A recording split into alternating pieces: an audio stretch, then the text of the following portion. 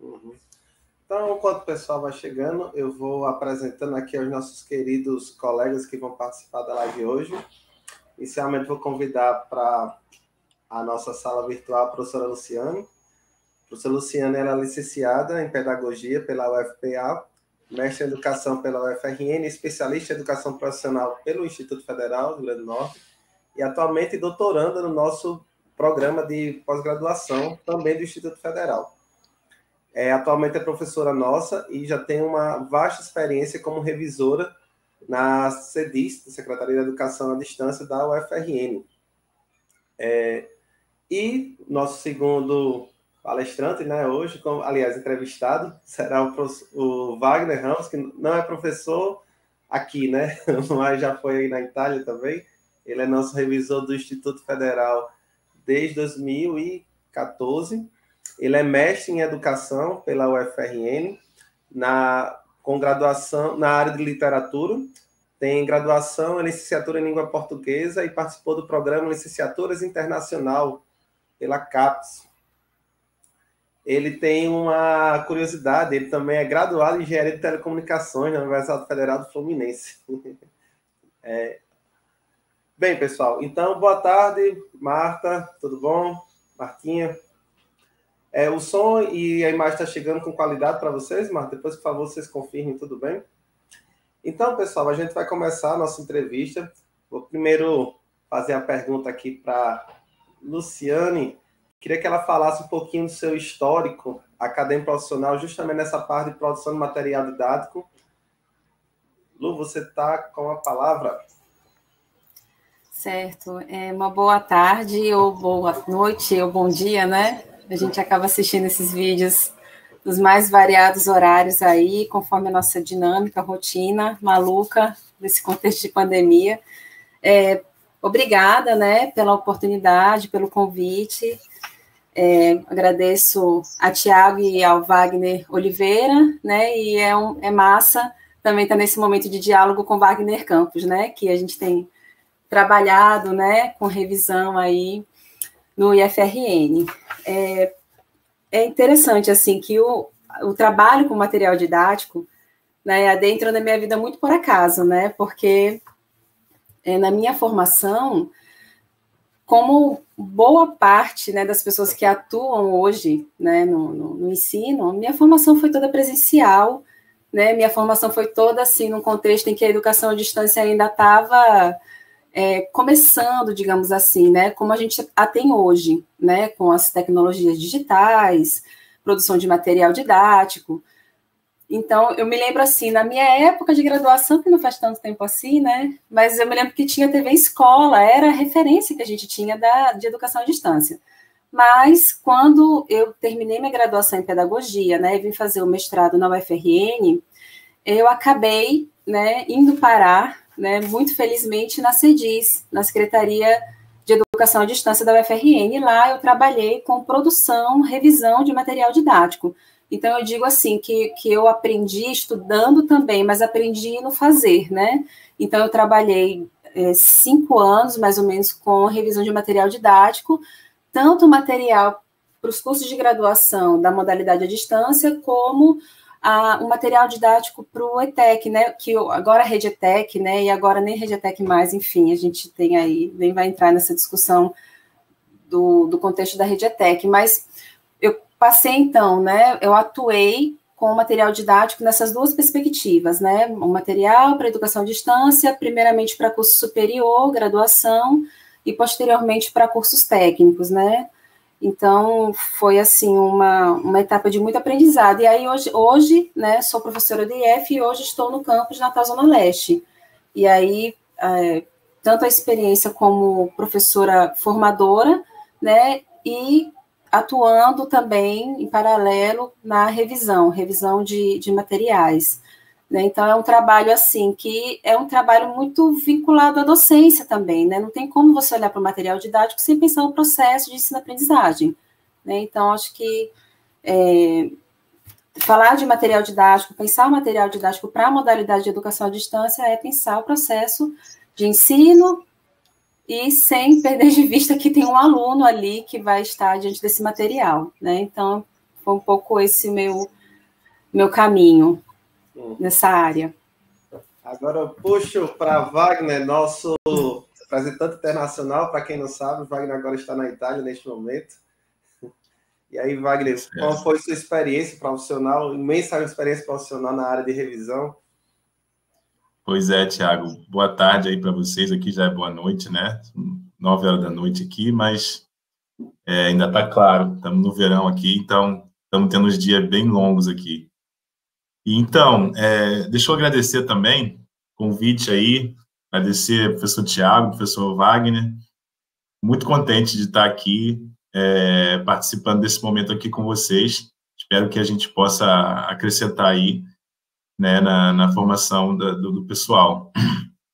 Aí, respondendo à pergunta, assim, a minha experiência com, com material de produção de material didático foi bem tardia, assim, foi a última coisa que chegou no meu, no meu, no meu processo formativo, né? E como o Tiago falou antes, eu tenho uma, um, processo de um processo acadêmico bifurcado, assim, né? Eu comecei na área de exatas. Primeira, minha primeira formação foi em técnica eletrônica lá no Cefet RJ, lá no longínquo ano de 2000. E aí depois eu fui trabalhar e tudo, aí depois é meio que um caminho natural, né? Quem faz técnico vai para engenharia, meio que sem pensar assim. Então eu fui para engenharia e aí, quando eu tava, fui fazer engenharia de telecomunicações, né? E quando eu estava no ciclo básico da engenharia, eu adorava aquilo. Eram contas infinitas, era toda aquela física, né? E só que aí, quando entrou no ciclo profissional, eu não sei se hoje em dia ainda é assim, dividido em dois ciclos, eu acho que já está mais misturada essa coisa. Na minha época era ciclo básico e ciclo profissional. Quando eu fui para o ciclo profissional, eu comecei a ver, opa, hum, eu acho que não é isso não. E aí, naquela época, eu descobri uma paixão minha, que é a literatura, e aí resolvi que ia estudar literatura, mas primeiro me formei, né? Aí você mostra o diploma para os pais, né? E, e, vai embora fazer o que você quer, né? e aí entrei para essa área de literatura, me formei na, na UFRN é, em, em letras e depois fiz o mestrado em educação, em ensino de literatura. E aí trabalhando mais com literatura infantil, né? E aí acabei é, fazendo esse concurso para revisor de texto e fui aprovado. Então foi aí em 2014 que começou a, a minha história com a produção de material didático e eu, eu me considero muito sortudo porque primeiro porque tive a felicidade de trabalhar com pessoas muito competentes assim, muito boas de trabalhar, né, desde que eu entrei. Então, antes era a Rosemary, né, que era, era a diretora, depois veio o Thiago para somar também. Então, sempre tive muita liberdade, muita uma gestão sempre muito democrática. E eu acho que a grande sorte é poder trabalhar revisando só material didático. Sabe? Eu, eu faço parte de um grupo de revisores de todos os IFs do Brasil e são pouquíssimos que têm essa sorte. Muitas pessoas revisando atas de reunião, revisando memorandos, é, é, ofício circular, e que eu acho que não é tão não é tão dinâmico assim quanto revisar material didático, né? A gente aprende para caramba. E eu por ter essa formação assim, é, na, um pouco na área técnica né, também, eu tenho essa possibilidade de fazer uma revisão, porque tem revisores que ficam meio acuados assim, né? Quando tem que revisar um material mais técnico, né, de uma parte com uma matemática mais pesada, de informática, assim, fica meio inseguro e eu acho que essa minha formação contribui para que eu não tenha essa, esse problema, né? Eu gosto muito de revisar material da área de informática e tenho aprendido para caramba. Desde que eu entrei, desde 2014, eu comecei a, a, a direcionar a minha formação para essa parte de design instrucional, né, para essa parte de, de produção de material didático mesmo para EAD, e tem sido um desafio e tem sido um período de muito aprendizado. Uhum. Ótimo. Pessoal, só para contextualizar, é, Luciano geralmente trabalha mais na parte de revisão técnica científica, nos últimos trabalhos que ela vem fazendo, e Wagner é nosso coringa, ele faz revisão pedagógica, linguística, ABNT, Então, eles dois vão se complementam né, nas revisões, praticamente eles, eles acabam fazendo todo o fluxo da, da, da revisão do material, e é isso que eu quero que eles vão, vão, vão trazer hoje, esse lado né, do revisor, o que é que eles prestam atenção. Então, justamente, eu já coloco né, essa próxima pergunta, né, na experiência para a Luciane, inicialmente, na experiência como revisor, o que você gostaria de destacar como fundamental em livros didáticos que tenham, que você vê que substancialmente são, tem muita qualidade. Né? Certo. É, é um pouco isso que o Tiago disse mesmo, né? Essa experiência que a gente teve de revisão de, de um material, de vários materiais de um curso, né? É exatamente assim, né? Toda essa experiência aí do Wagner ajuda muito, né? É, e aí, no, no, meu caso, mais voltada para o aspecto técnico-pedagógico, né? Técnico-científico, como disse Tiago, por ser é, sobretudo esses que a gente revisou, né, por último, da área de educação, né, e aí, assim, é, como revisora, né, o que, o que eu destacaria como fundamental, né, livros didáticos de qualidade para a modalidade, né? É, eu estava recentemente lendo um, um, material de uma professora aqui do Rio Grande do Norte, é Dalva Cibento, né? E ela diz, diz assim no material, no, no livro, né? Uma passagem do livro que o material didático ele comporta mensagens, né? Que comunicam informações, né? Até aí, tudo bem, mas o material didático ele, ele necessariamente deve se diferenciar dos demais, é, dos demais meios de comunicação, porque ele é construído com propósitos educativos, com propósitos pedagógicos, né? Então, ele é voltado para um processo de aprendizagem, ele está vinculado a uma situação educativa específica, né? Então, uma das coisas que a gente, inclusive, troca muito, né, Wagner, quando a gente está na, na, revisão dos materiais, e eu acho que é, é uma dificuldade. Primeiro, a dificuldade da escrita, que escrever não é óbvio, né? Uma escrita que é uma escrita acadêmica também, né? Mas é justamente esse fazer da escrita acadêmica que às vezes atrapalha um pouquinho a escrita do material didático. Por quê? Porque a gente está muito habituado a escrever o gênero o artigo, o artigo, o resumo, né? O artigo científico. E aí no material didático a gente precisa ter uma outra um outro direcionamento. Ah, mas como assim? Não é embasado também teoricamente? A gente não traz uma fundamentação? Sim, claro, né? É, não tem como você escrever um material de didática sem citar Libânio, né? É claro que ele tem que estar ali, né? E tantos outros professores também referências, mas é, a questão toda é a forma como essa fundamentação é inserida, né? Então, assim, eu diria que o principal aspecto desse material é a escrita dialógica, né? Porque ela vai conter explicações, orientações junto com o conteúdo, não é o conteúdo apenas, né? Mas é toda toda essa conversa, né? Por exemplo, eu estava dizendo inicialmente que a, a, a, escrita do material ela não pode estar descolada do processo de ensino-aprendizagem. Por quê? O professor conteudista ou professor autor, ele precisa se imaginar na sala. Bom, eu vou dar a minha primeira aula aqui sobre o que é didática. É, como, como eu costumo iniciar a minha aula? Eu converso com o meu aluno, né? O que é didática para vocês, né? Como a gente é, é, definiria didática? Um material de educação à distância, né? assim, a gente compreende que o ideal é que essas questões estejam nesse texto, né?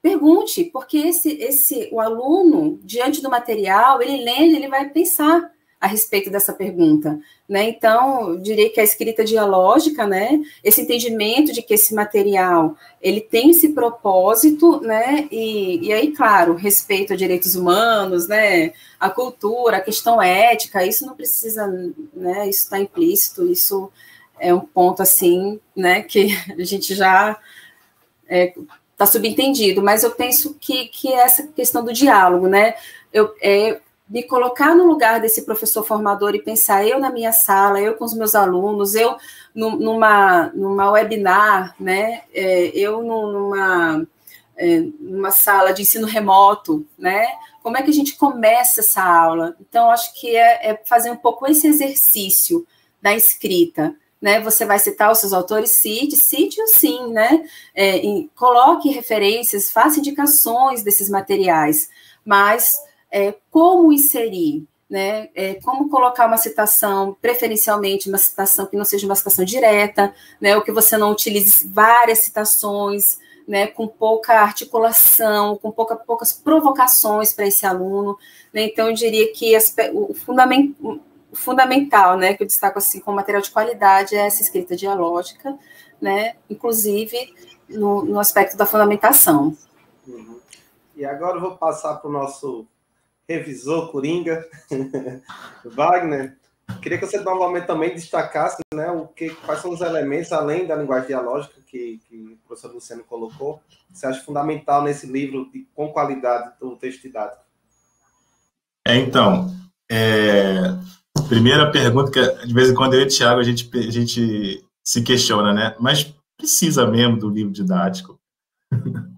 Né? E eu acho que é uma pergunta muito válida que a gente pode discutir depois, né? Agora vamos falar um pouco melhor sobre o livro didático de material textual, né? Que é o que a gente está falando aqui. Porque já existem vários professores, já existem vários teóricos da educação à distância que respondem categoricamente que não precisa mais, sabe? Que o AVA dá conta do recado e que Dá para você fazer um curso online todo sem o livro didático, que não é mais aquela coisa como era lá em 2014, quando a gente começou lá no, no, no campus EAD, o livro didático ele era referência de tudo.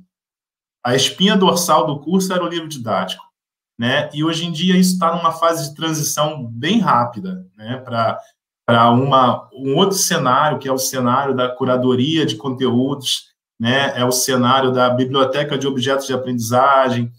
Isso está evoluindo muito rápido. A gente está sendo engolido por esse processo e, e, e, aí a gente, aí eu me pergunto, né? O que que o que que faz sentido hoje a gente trabalhar ainda com material textual? Olha, ainda mais assim, pensando na realidade do Rio Grande do Norte, por exemplo, eu acho que faz muito sentido ainda é, até a gente trabalhar com o livro impresso, inclusive né? Porque, assim, o livro impresso, se acabou o crédito do celular e, e não tem internet, o livro impresso está ali para o aluno estudar, né? Se o aluno foi para o interior porque aconteceu alguma coisa, o livro vai estar tá ali na mochila dele. Então, não dá para a gente virar as costas para o livro impresso e dizer, ah, isso aqui não presta mais, né? Então, é uma coisa que está viva ainda e a gente tem que pensar esse livro impresso hoje em dia da melhor maneira possível.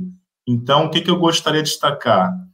Eu acho que, mais é, vendo essa parte da linguagem, né, falando como revisor linguístico mesmo, eu acho que, além dessa, dessa, desse diálogo né, que a Luciane muito bem ressaltou, eu acho que a gente tem que primar pela inovação, sabe? A gente tem que ser ousado na hora de produzir um material, um livro didático, porque hoje em dia a gente está vendo muito a, a, a invasão das lingua, da linguagem de blog, da linguagem de redes sociais, está entrando em todo lado, né? E na educação não é diferente.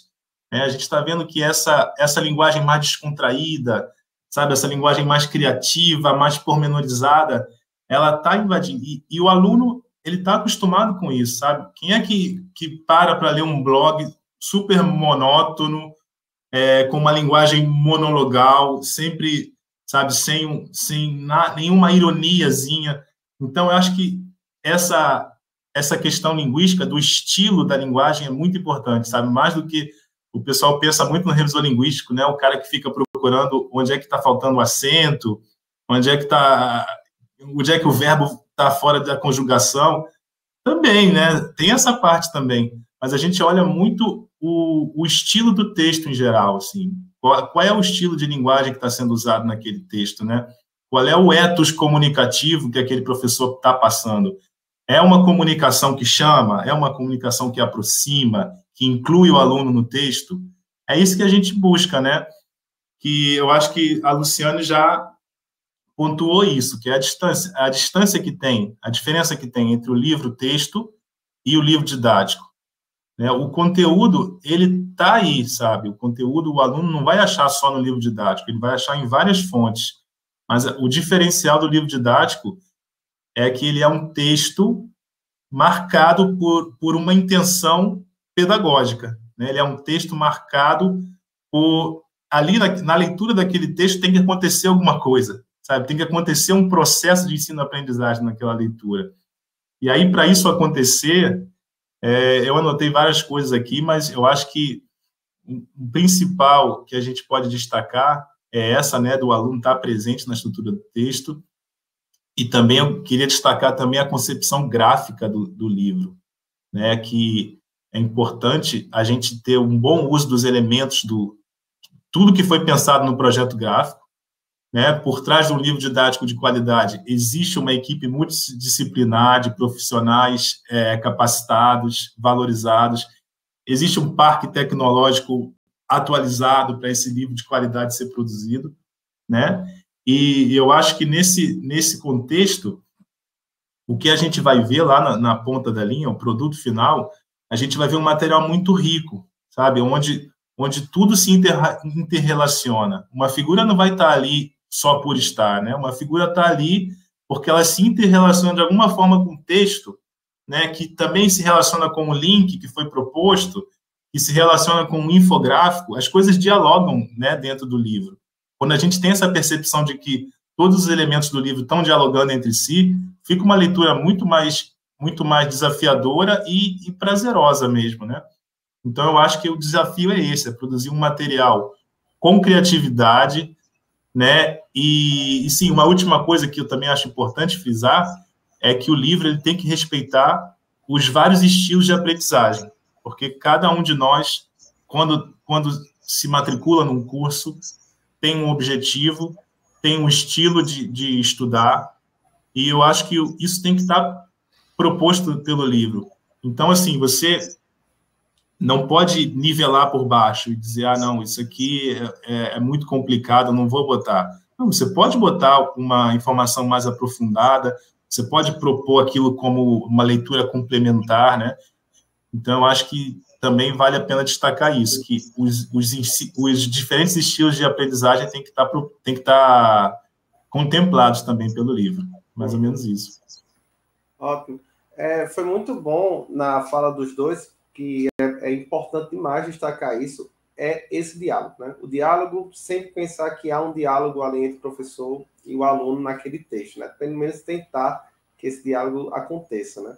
E outra coisa que foi muito bom que Wagner colocou é justamente repensar, né? E aí é uma questão de reflexão depois, né? Não que a gente vá abordar isso no curso, mas para que cada um reflita, né? Até, até que ponto o texto didático ele deve ser utilizado justamente depende do perfil do seu aluno. Se seu aluno é um aluno, como ele bem colocou, numa realidade do Rio Grande do Norte, né, que ele necessita, ele não tem acesso à internet com qualidade, então, é interessante que se pense no texto de dados que ele possa vir a ser impresso.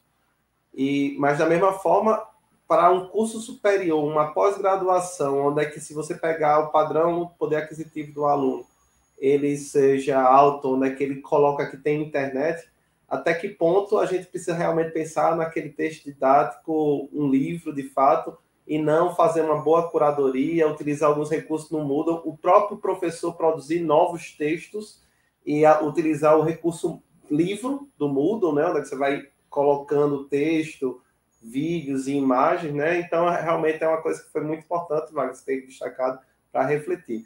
Então, a gente já falou dos pontos importantes e agora eu trago o Luciano novamente para começar aí os problemas da sua experiência, dos tantos livros que revisados que você já, já fez, né? Quais foram os maiores problemas que você encontra, justamente, principalmente, que, que que provavelmente são ao, a, ao, professores autores né, de, de, primeiras obras, né, geralmente também tem essa questão que a, a maturidade, né, com o tempo de experiência que vai melhorando. Então, passar a primeira pergunta para a Luciana, né, os grandes problemas que você viu já dos textos de dados que você já revisou. Certo. Só antes mandar um abraço aqui para colegas que estão assistindo, né? Professora Tatiana, professor Zé Carlos, professor Willis, professora Josi. É, Josi elaborou um material recente, né? A gente trabalhou na revisão, um excelente material, inclusive. Então, só mandando esse abraço aí rapidamente. É, a respeito de problemas, né? Eu acho que eu falei um, pouco isso também no primeira anteriormente, né? que a escrita acadêmica, né, é muito assim, no, no, no formato do artigo acadêmico, né, no artigo científico, ele acaba, às vezes, às vezes, sendo um probleminha na escrita do material didático, né, que a gente direciona muito, né, para aquela linguagem, e isso acaba... Mas é claro que isso também, no processo de revisão, a gente vai, vai ajustando, né, mas é algo bem recorrente. É algo que também acontece, né, o que é muito, muito complicado, né, que é o plágio, né, a gente se depara com situações de plágio também, né, infelizmente, e às vezes é, é realmente, assim, uma... Às vezes até a maneira você utiliza, mas não coloca aquela citação, ou você traz muitas, muitas coisas de vários autores e você acaba se perdendo, você acaba se ausentando do texto, né? Mas eu acho que essa é uma questão que a gente precisa sempre estar muito atento, porque, ah, se eu estou trazendo, seja uma citação direta ou indireta, fazer menção a esse autor, né? E ter muito cuidado, né, no, uso dessas de, de referências a outros materiais, né? Então eu coloco como plágio mais situações assim relacionadas, né? A, a, essa situação de, de, de, consulta desse material sem as devidas referências, né? Enfim, é, algo também que a gente observa muito, né? Que é também algo que a gente trabalha junto ao autor muitas vezes, é a questão das atividades, né? Por mais que haja uma intenção, né? Ah, eu quero fazer um material mais dinâmico, um material mais dialógico, um material mais contextualizado, né? Mas acaba muitas vezes as atividades elas apresentando assim, sendo muito lineares ou muito mecânicas, né, descontextualizadas ou pouco reflexivas, enfim. As atividades, a gente vem conversando muito sobre isso, inclusive, né, no, na diretoria né, de material didático, né, Tiago, porque as atividades, elas são estruturantes da aula, né, de uma aula, de um material impresso para a modalidade, né, que a gente pode falar em aula, né, cada é, cada partezinha desse material, né? Porque a atividade ela é justamente né, essa são, são ou as pausas ou as, as provocações que esse aluno na, naquele ele com o material ele é, é uh, como se diz ele é incentivado né a, a, refletir a pensar sobre o que ele está lendo sobre o que ele está estudando então atividades né como eu disse que não, não fazem esse movimento dentro da aula, e eu, e eu colocaria por último, né, justamente, eu acho que vai corroborar é, a fala de Wagner, que é explorar as sessões disponíveis para esse material né? Que são sessões. Ah, eu estou vindo num texto aqui, coloco uma caixinha de saiba mais, coloco uma caixinha de lembre-se, insiro uma, um, um box, como a gente diz, né? É, com um, destaque, né? Sobre algum conteúdo, é, permear essa, essa esse material com as atividades, né? Tem um autor, agora me fugiu o nome dele, que ele, ele fala em atividades intratextuais, que é exatamente esse movimento, né? Que faz essa provocação, que, que é, provoca mesmo, a palavra é essa, provoca esse aluno, né, né nesse momento de, de, estudo de leitura dele. Então, eu diria assim que os problemas, né, seriam, eu acabei listando aí cinco pontos, né, formato de artigo, o plágio, as atividades muito lineares, né, os conteúdos, sim, nem pontuei, conteúdos às vezes muito distantes do, do, do contexto desses alunos, né, a gente não pensa, quem é esse aluno, quem é que vai ter esse material, vai utilizar esse material, e a questão das sessões, um pouco exploradas, né? Acho que é isso. Vou interromper para Wagner. Cara, poxa, aqui, Wagner, justamente a mesma pergunta, Wagner, dos os principais problemas que você encontra nos materiais que você revisou ao longo de quase uma década já. Olha, Tiago, vou responder com duas palavras: frases quilométricas. Pronto, está respondido. Não, brincadeira. É, é porque revisor de texto odeia a frase quilométrica. Por quê? Porque é o contrário de tudo aquilo que a gente falou, né? A, a, frase quilométrica ela não tem diálogo, a frase quilométrica ela não tem conectores, ela não tem. Ela, geralmente ela abraça, ela quer abraçar o mundo inteiro com as pernas, quer fazer um monte de conceito né? E é tudo o contrário, sabe? A gente quer, a gente quer frases enxutas, né?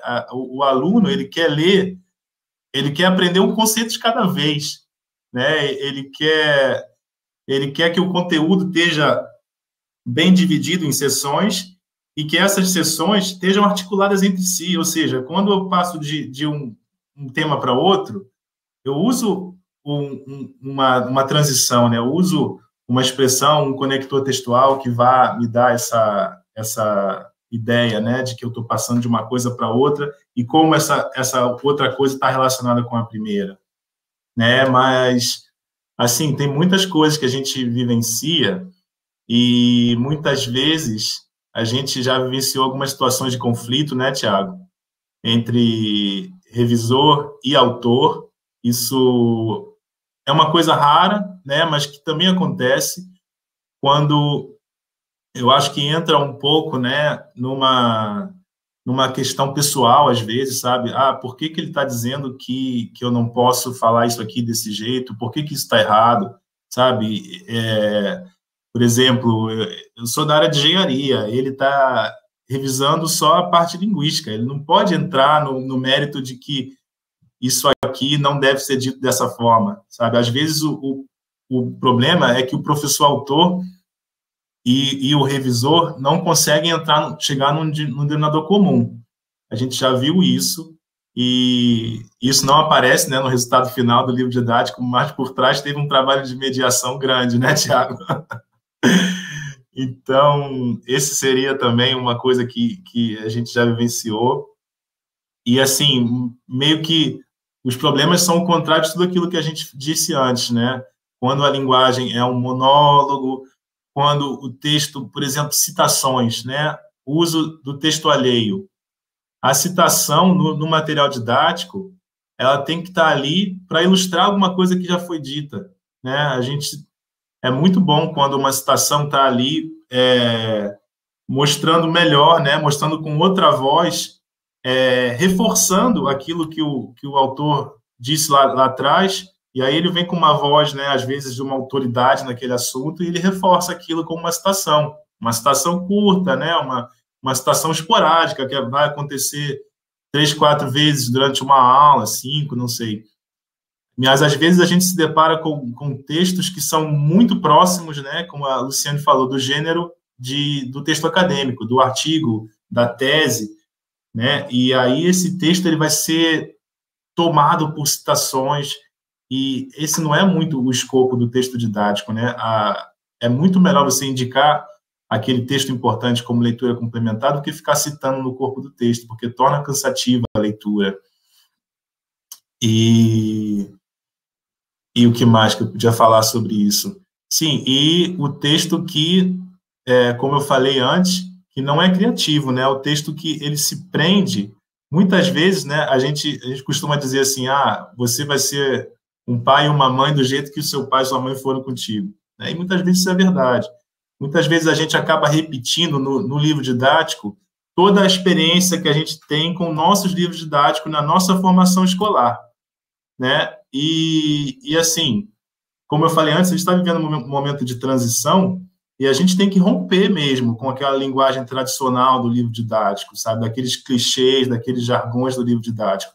A gente tem que partir para novos desafios, sabe? A gente tem que, dentro do nosso livro didático, a gente tem que jogar um link para um, um vídeo de música e pedir para o aluno relacionar aquele vídeo de música com o conceito que foi explicado antes, sabe? A gente tem que ter esse jogo de cintura de, de ousar, de inovar e não ficar na, naquele texto, né, mas assim, o material quando você olha para ele, quando você dá uma leitura scanning assim, bem rápida, você já consegue dizer mais ou menos se aquele se aquele texto tem tem uma qualidade didática boa, é, não só pela presença de imagens, né, pela, pelo projeto gráfico em si, mas você vê assim, quando você se depara com parágrafos grandões, sabe, e, e texto corrido, texto corrido, texto corrido, sem sem uma lista, sabe? Muitas vezes você está explicando alguma coisa, para um pouquinho, faz, faz uma lista enumerada, né? Da, olha, vamos discutir isso, isso e isso,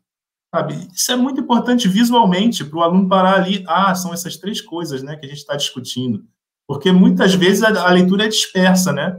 Ainda mais quando ela é feita no computador, competindo com as mensagens de WhatsApp que estão chegando, essa leitura ela acaba ficando dispersa. Então, esse material ele tem que ter uma hierarquização visual até no próprio texto mesmo, sabe? Ele tem que usar usar negrito, ele tem que usar listas, ele tem que usar essas estruturas que a, que a, a Luciane falou, né? Senão fica uma coisa meio livro tradicional, né? É preto no branco. É a página branca cheia, cheia de texto, sabe? Então, eu acho que esse seria o, o, o exemplo do que a gente vê como maiores problemas mesmo. É, foi muito bom você ter colocado isso, Wagner. É, eu me lembro agora a questão da memória de trabalho, né? Que eu acho que eu até coloco também numa das minhas videoaulas. E o que você colocou tem uma palestra muito boa do professor do Igor Paim, do IFCE, não sei se vocês conhecem, depois eu até vou colocar aqui o link no chat, que ele fala sobre neurociências cognitivas, né, a parte de aprendizagem, e aí ele fala hoje, né, como a sociedade, que é essa memória de trabalho, é justamente essa memória que consegue pegar informações da nossa memória de longo prazo e associar o que a gente está tendo agora, estudando agora, percebendo agora, e tentar fazer, fazer essa esse conceito, né? Criar um conceito. E hoje em dia, com tanto estímulo, né, que você colocou muito bem, vai se perdendo parte dessa, dessa atenção da memória de trabalho. E aí tem a importância justamente de você tem tra trazer um, um, texto interessante para o aluno, dialogado com frases curtas, justamente até para facilitar que ele consiga, de fato, criar esse conceito muito bom. Você que colocar justamente a questão dos elementos visuais. Eu me lembrei agora, daqui a pouco eu vou colocar o, no, no, no chat. É, pessoal, então assim, a gente está indo agora para a nossa última pergunta. Quem quiser colocar alguma pergunta aqui no chat, pode fazer, que ao final da, da, da resposta dessa última pergunta, eu, eu coloco para o pessoal, tá bem? Então, vou chamar a Lu novamente. Então, para você, como é que é o seu futuro? Agora, brincando de futurismo. no futuro, como serão os textos de dados? O que é que você espera? Então, né? É, Wagner falou num dado momento assim sobre a questão do material impresso, né? O, o livro didático. Será que precisa do livro didático, né? Realmente isso é um, um grande dilema. Mas é, eu, eu, eu compreendo que o material didático ele é assim um dos determinantes de um bom curso, né? Da, da, da modalidade EAD. Eu acho que ele é fundamental, né? Justamente porque se ele, se ele atende a essas especificidades todas que a gente foi colocando aqui, né, como ideal, né, é, ele, ele é estruturante de um bom curso, né? Agora, claro, eu entendo assim que é, a tendência, né, é a gente ter suportes dos mais variados possível, né? Você acessa de qualquer lugar, você acessa de qualquer suporte né? É um tablet, é um celular, é um computador, né? Mas a gente esbarra nessa questão da, do acesso às tecnologias, essa, a grande desigualdade que a gente sabe bem e que foi escancarada agora nesse contexto da pandemia, né? A, essa, em, em, razão da questão do ensino remoto, né? É, é, que foi inviabilizado, né? em, em muitos na grande maioria, para a grande maioria da população, por falta né, de acesso a recurso, recursos mínimos, né? A internet é um aparelho, né? Nós vimos coisas assim terríveis, né?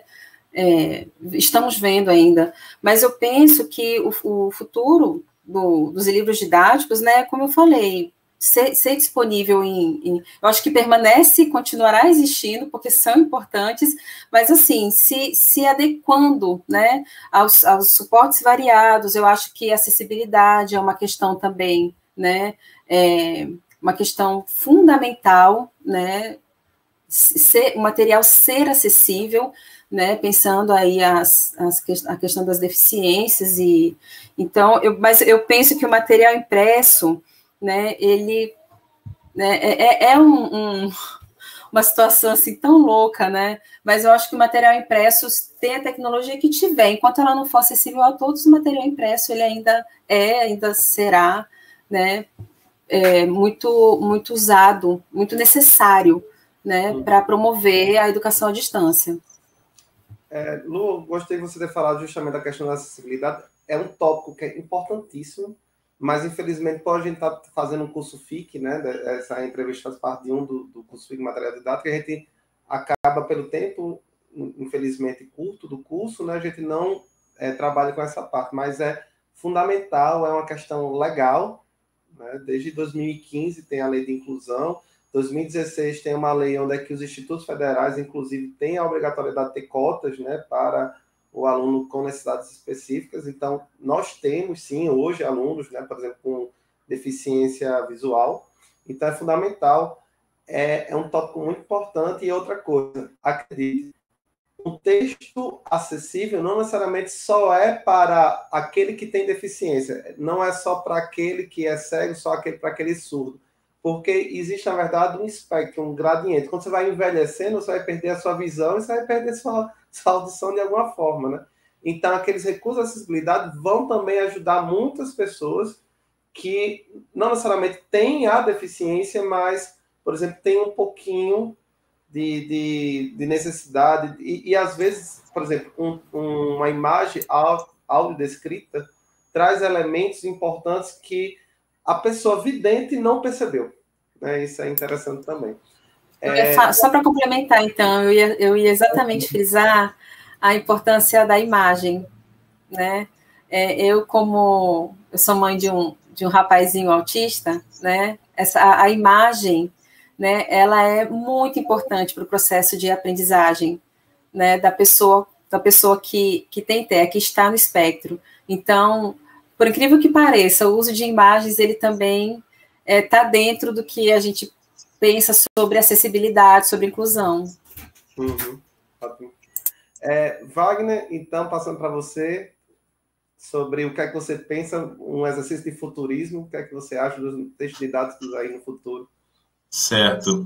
É, primeiro, obrigado demais, Lu, que você lembrou da, da questão da acessibilidade, né, que eu acho que tinha sido pouco tocada, né, é, e está dentro dos desafios, né, do livro didático daqui para frente, né, a gente está com esse desafio de construir uma sociedade cada vez mais inclusiva, cada vez mais democrática, né, então a gente tem que pensar literalmente em todo mundo, né, o livro ele tem que contemplar idealmente, ele tem que contemplar todo mundo. Então, ele tem que ser, sim, um livro acessível, ele tem que ter, sim, a descrição das figuras, né? ele tem que, quando ele aponta para um link, ele tem que apontar para um link que, preferivelmente, tenha audiodescrição. Né? A gente tem que estar muito atento é, até as questões é, do, da, das dificuldades de aprendizagem, né? de de repente tentar explicar por mais de um caminho um conceito que que alguns vão pegar melhor por analogia e outros por, por outros motivos vão pegar melhor com, com um exemplo concreto, né? Então o livro ele tem o autor do livro tem que ter isso em mente. E também questões de representatividade também, né? Quando a gente fala de exemplos, quando a gente fala de figura, a gente tem que pensar que é, assim, eu, eu fiz uma, na minha pesquisa no mestrado, a gente trabalhou com literatura infantil negra, né, e a gente, eu li muitos trabalhos sobre livros didáticos também, e ali mostrava que grande parte do, do, do que está representado no, no, livro didático é uma cultura eurocêntrica, né, os personagens que estão representados são personagens que tendem a normalizar a branquitude, então, quando a gente pensa no livro inclusivo, a gente tem que pensar também nessa questão da representatividade, né? Do, do representatividade de gênero, de raça, de orientação sexual, de tudo. A gente tem é muita coisa para se pensar, né? Então acho que é um desafio muito grande que está tá colocado.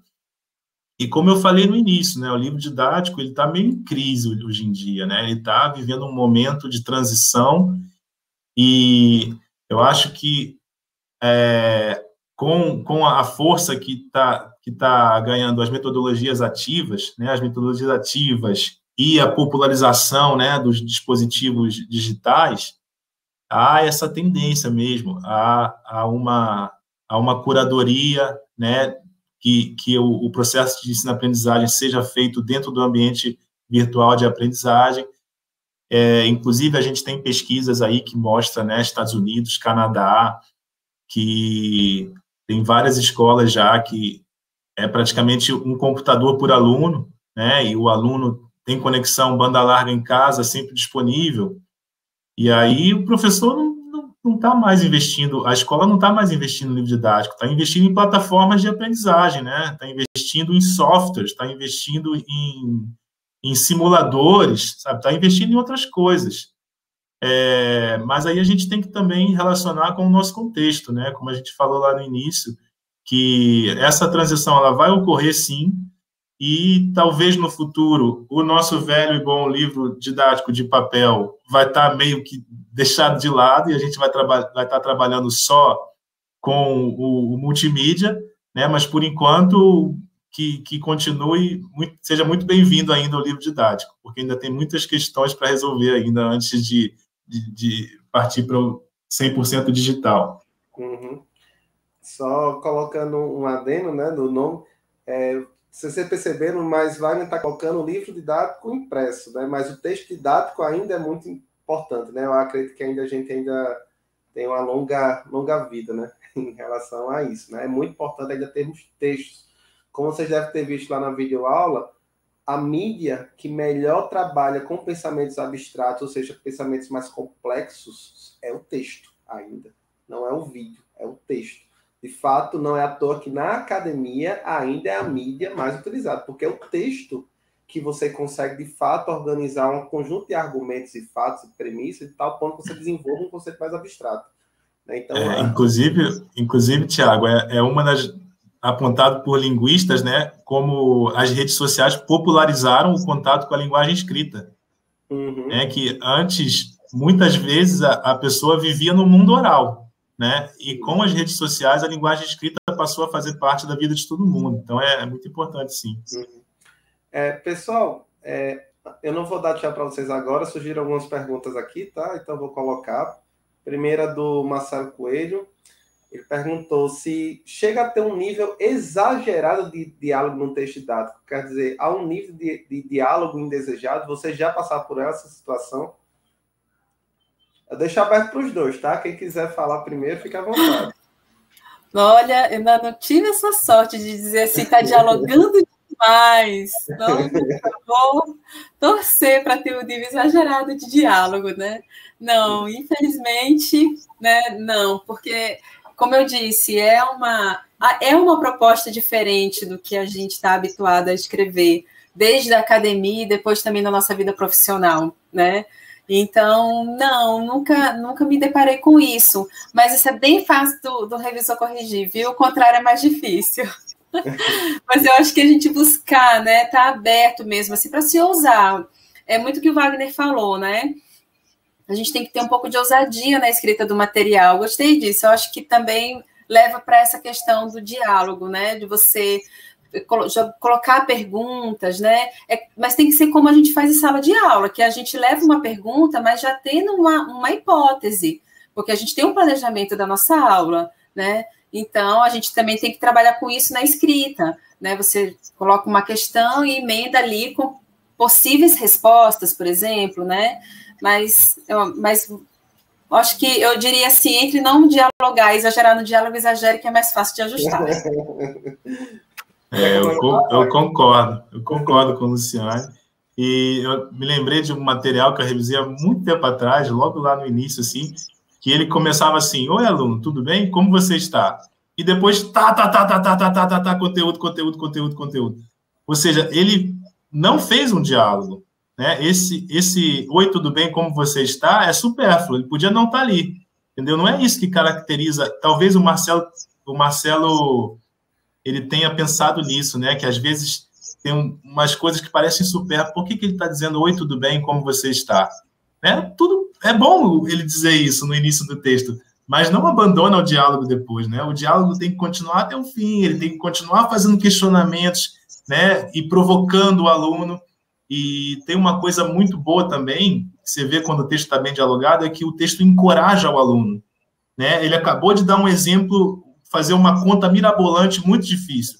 Aí depois ele fala assim: é, né, aluno? Eu sei que você está com dificuldade, mas não desiste, não. Vamos ver por outro, por outro lado.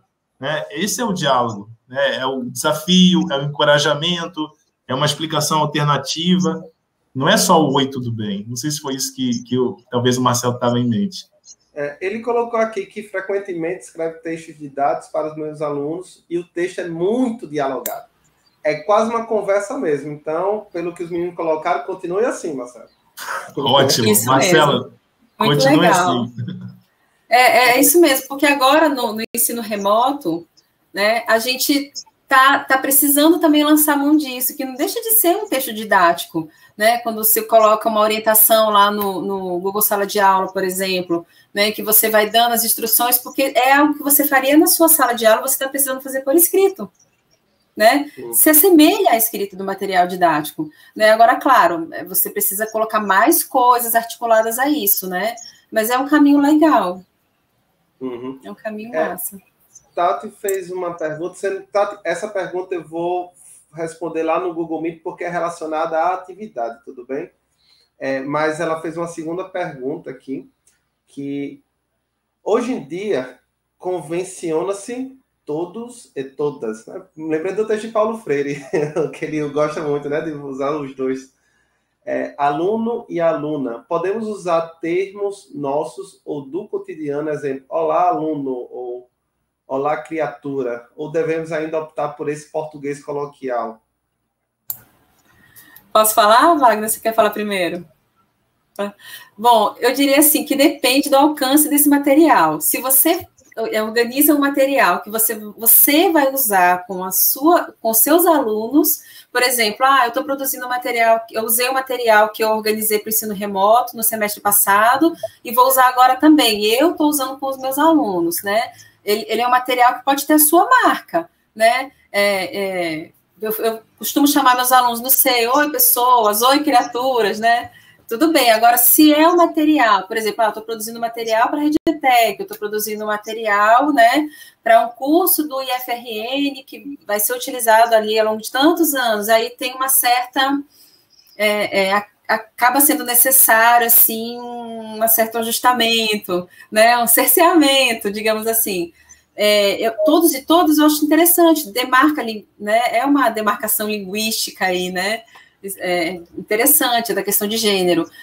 Quem sabe daqui a pouco a gente já tem aí instituído todos, né, não, não, ainda, ainda há muito que se discutir mas eu acho que eu acho que precisa ponderar um pouco a depender do público, a depender de quem vai receber usar esse material. Uhum. Wagner vai querer falar alguma coisa? É isso aí, é, é você dançar conforme a música, né? Você tem que se adequar a, ao nível de formalidade exigido naquele contexto em que o material está sendo escrito, né? Então, se o, se o nível de formalidade é pouco, você, você pode usar o, o todos com X, né? Você pode você pode usar o todas com arroba, não tem problema. Mas, como a Lu falou, se é um projeto maior, de alcance nacional, enfim, talvez aquilo fique um pouco não, não condiga com, com o contexto, né? Então aí a gente fica com uma linguagem um pouquinho mais formal e aí a gente acaba colocando todos e todas. Depende muito do uso. Certo. Pessoal, é, eu acho que agora não tem mais nenhuma pergunta específica né, sobre a produção. Tem perguntas em relação a atividades. Eu vou me despedir para vocês.